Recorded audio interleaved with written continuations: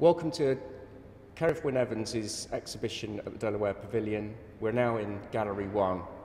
What the artist has done with this space is he's revealed all of the windows for the first time and stripped back any dividing walls.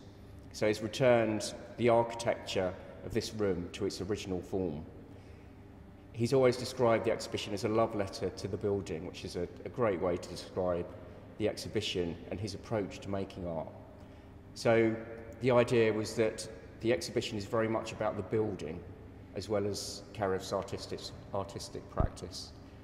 Um, there are four works within Gallery 1. It's a very sparse installation.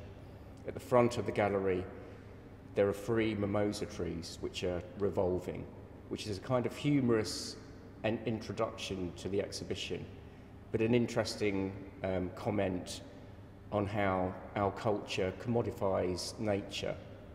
Um, I'm stood next to a text neon, um, which is a quote from the situationist Guy Debord.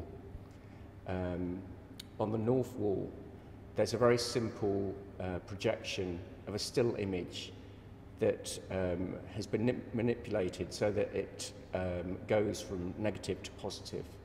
Um, it's uh, an image that was originally by Pierre Klossowski. Um, at the rear of the gallery, there's this amazing mechanical musical instrument which plays abstract sound. And the sound fills the gallery space and in some ways reinforces the size of this room and articulates uh, the dimensions.